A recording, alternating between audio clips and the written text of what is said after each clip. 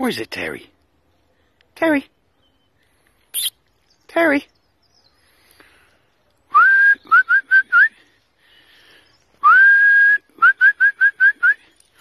That's a good girl.